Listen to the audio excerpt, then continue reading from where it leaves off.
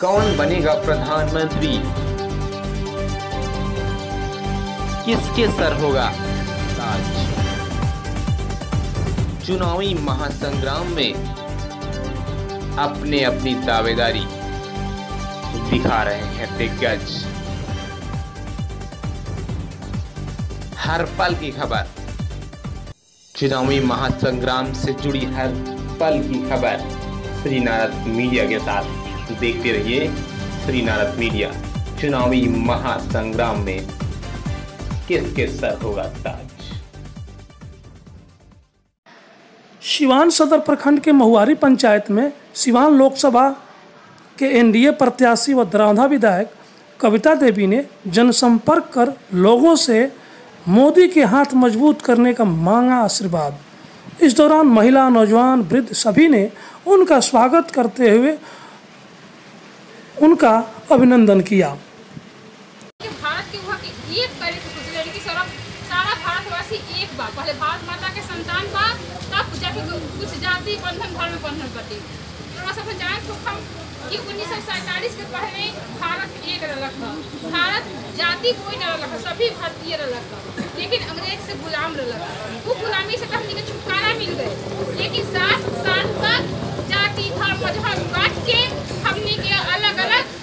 ज़मीन का ई देश के तोड़े के कोशिश करल गए तो रहा सफल से आग्रह बा कि जब 2014 में माननीय प्रधानमंत्री नरेंद्र मोदी जी प्रधानमंत्री के पद की सुशोभित करनी तो वहाँ के जाति बंधन धर्म के तोड़ते हुए सबके साथ और सबके विकास जो नारा लगेनी वही के तहत कार्य करत आ रहल बनी।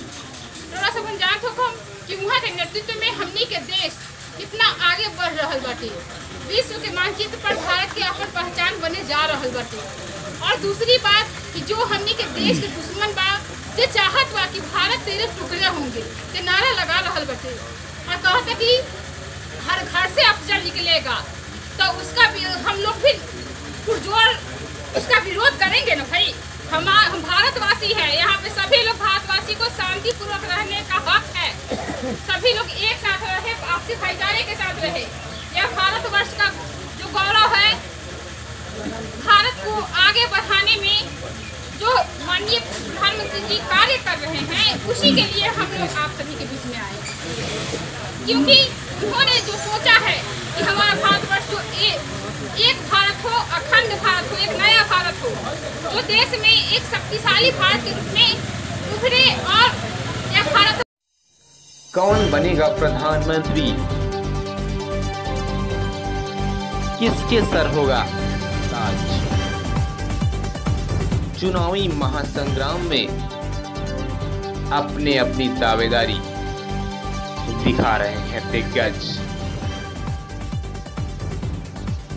हर पल की खबर।